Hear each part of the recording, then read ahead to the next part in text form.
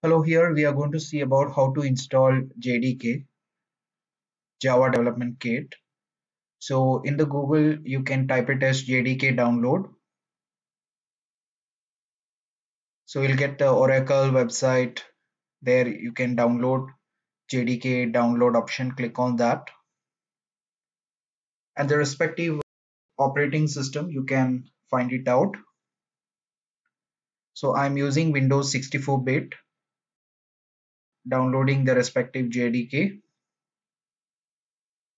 Depending on the operating system which you are working for, you can download the respective JDK from Oracle website. After downloading the exe file, just click that and open. It will start with the installation process. Just click on next.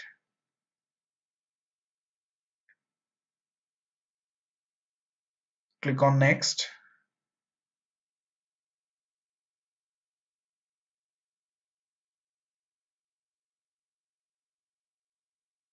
It's completed with the JDK installation. You can close that